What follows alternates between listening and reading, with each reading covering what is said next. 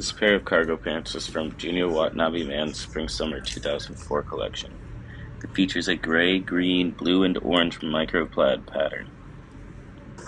In addition to being used here on this pair of pants, this fabric is also featured on a backpack from the collection.